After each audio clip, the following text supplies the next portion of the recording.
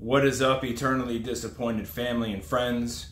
Welcome to uh, a quick Thursday evening podcast. Um, let's just get right to it. The first thing I'm going to talk about is the Cowboys Chargers game. Now, in my previous video, I said that quite a few people were picking the Chargers. I think the Chargers are overrated. I think Justin Herbert is overrated. I think that uh, Brandon Staley is extremely overrated, and he's probably going to get fired at the end of the year.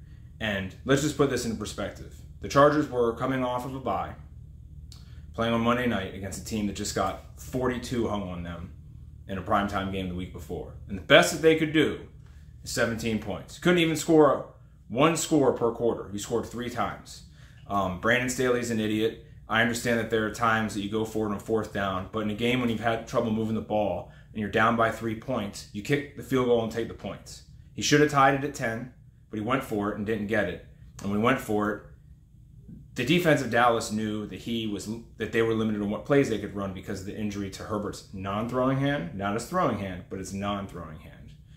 And it was just a crap show. The Chargers are not a good team. Justin Herbert is 27 and 27. He's a 500 quarterback. Staley will be fired at the end of the year.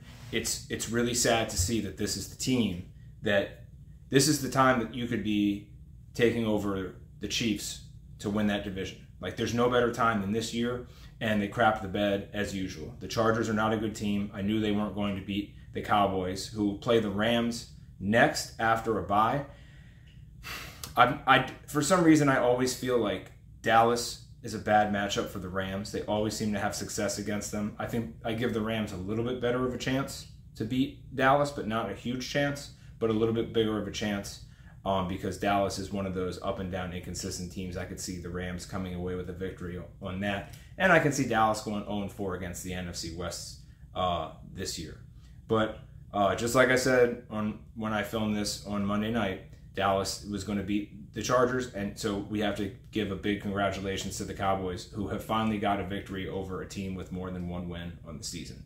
Great job, Dallas. Now I get to hear your insufferable idiot fans talk about how you're Super Bowl favorites for the next two weeks because they never shut up. All right. Big fights this weekend in the UFC. Big fights. I'm going to go over Usman and Chimaev. This is a fight that I can see going one of two ways. I can see Chimaev being one step ahead of Usman and basically it's almost like the second time St. Pierre fought Matt Hughes, where it was the the wrestler that learned how to strike and became a champion was finally outgunned by the younger, more athletic guy who learned how to wrestle and strike. Even though St. Pierre came from a striking background first, his wrestling is ridiculous. And in the second fight with Hughes, he was just so far ahead on everything and just he, he was in and out of the pocket so fast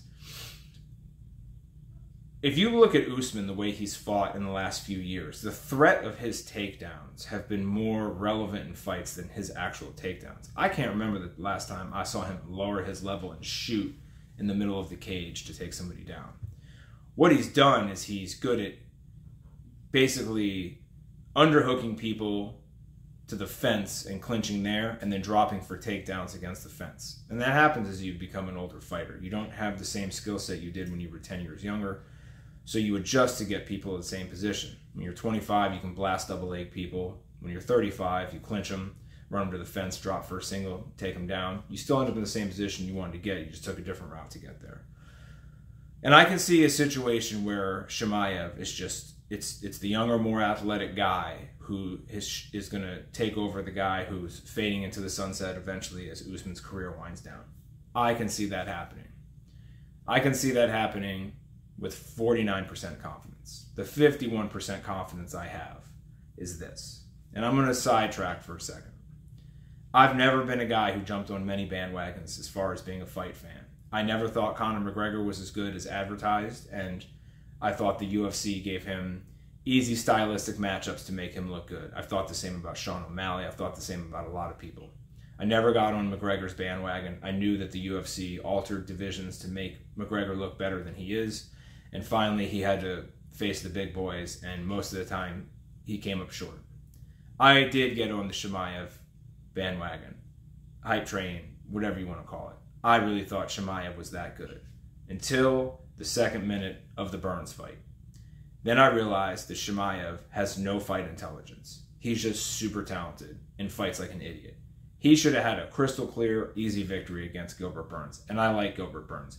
I respect the shit out of Gilbert Burns. I think he's too small for 70 and too big for 55. I think he, he's a perfect, him and Masvidal are perfect candidates for 65. But the UFC won't do it for some reason. I don't know why. But I think Chimaev could have had an easy night against Burns. And instead, he went and, and fought like an amateur. Like he just let his emotion get to him and he went out there and went crazy.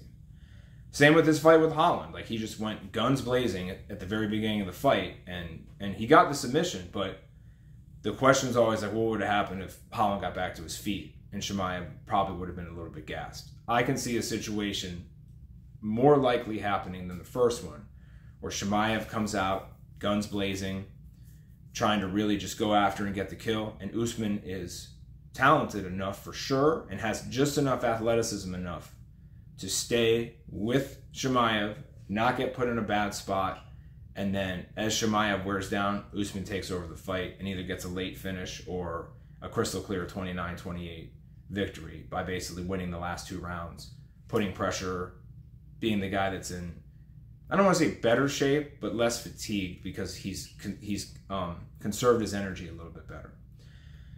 That's what I see happening more likely. Um, I will say I think that if Chimaev gets a clean takedown and a good position, like what Leon Edwards did the second time him and Usman fought when he got him down in the first round, if that happens, Usman's fucked because Chimaev will not attack him like Edwards did. Chimaev will try to rip his fucking head off. And Usman, I think, is good enough to not get caught up there yet. I think in a couple of fights he wouldn't be able to. I would love to see Chimaev come out and stay calm, composed, and then make something happen. He has the ability to do it. He just has to be able to do it in a fight. And sometimes it takes experience, man. Fighting is a crazy game. Competing is a crazy game. Um, but that's what I see happening. I wouldn't be surprised if Chimaev comes out there and runs through him, but I don't see that happening. I see Usman weathering the storm like a real true veteran, overtaking the fight in the second and third round, and I think that's the exact lesson Chimaev needs. But maybe he learned his lesson from the Gilbert Burns fight. We'll see. Volkanovski and Makhachev. I hate the fact that this fight is happening again. I like both guys. I'm a super big fan of Volkanovski. I hated watching their first fight. I hated the fact that I have to rewatch it to be able to give you guys an analysis of what I think is going to happen in this fight. I think that there it's if you look at a lot of the guys that Khabib fought and a lot of the guys that Islam fights, they don't do a lot of rematches. And when you fight guys like them that you know have a unique wrestling and grappling ability, there's always questions in your mind. Because you never know what's going to happen when you end up in a situation where you have to scramble with them and you have to grapple with them. You don't know how strong they're going to be, you don't know how fast they're going to be, you don't know where they're going to be. That's not the case in this fight. 25 minutes of fighting each other and Volkanovski knows exactly what he's getting into now. He knows that he can take a few more risks on the feet because his his counter grappling will he's not going to get held down and I don't see him really getting submitted. Um, not to say that it can't, but he's so good. I think Volkanovski is going to come out in this fight five percent more aggressive than he was in the previous fight. He's going to be five percent more aggressive in the right spots, and I think he finishes Makhachev. that's a big, bold prediction to make on a fight that seems so 50 50. But Volkanovski's so good. And and I think that Makhachev is a better striker than people think, because people think that Makhachev and Khabib are the same. They're totally different. They're not even built the same. And Makhachev probably has that thudding power when he hits you, it just kind of makes you do that. Not like a whip, like where it cracks and you're like, oh my god, that hurt. But it just thuds you because he knocked out guys that I've trained with before that have cinder block heads. So, so I think Makhachev has better power when it comes to striking. I think he's better than people give him credit for because they associate him with Khabib. But I think Volkanovski's striking is two levels above his. Volkanovski is so good. Volkanovski is, is one of the very few fighters that you look at him and then you don't immediately think of a certain type of style. You look at a guy like Jiri Prochazka and you think of a great kickboxer. Same with Adesanya. you look at Usman, and even though most of Usman's last fights have been won on the feet, you think of him as a wrestler because his wrestling is what really got him to be where he is now. You think, look at Chimaev, and you're like, oh, that guy's a great wrestler. Volkanovski's so good everywhere. Nothing stands out. Nothing doesn't stand out because he's a jack of all trades. Nothing stands out because he's a master of everything. He's a fault. He's a he's a he's a high volume power puncher with great stamina that has terrific takedown defense. He's unsubmittable, and unless you're many weight classes above him, you're pretty much not going to knock him out.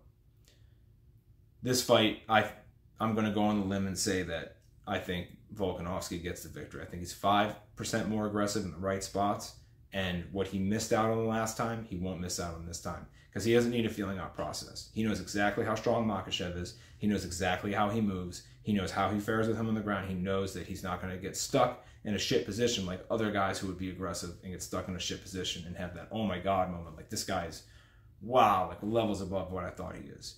I'm not looking forward to the fight from a fan's perspective of being a fan of both guys, but as a fan of the sport, I can't wait for this weekend.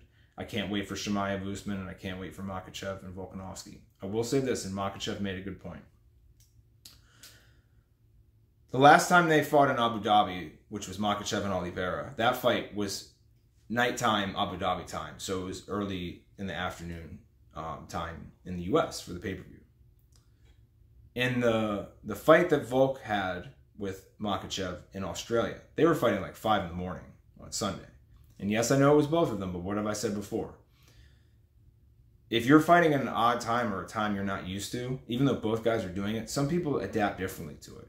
I'm curious to see if Makhachev looks a lot better fighting in a more natural time than he did when they fought in Australia.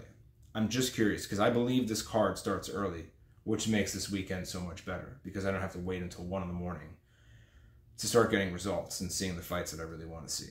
So, um, like I said, the Usman Chimaev one is a toss up. Either Chimaev is just one step ahead and his athleticism, his athleticism and youth are too much for Usman's talent because Usman is known for having bad knees and he's a little bit older, so his wrestling isn't what it used to be from the explosiveness perspective.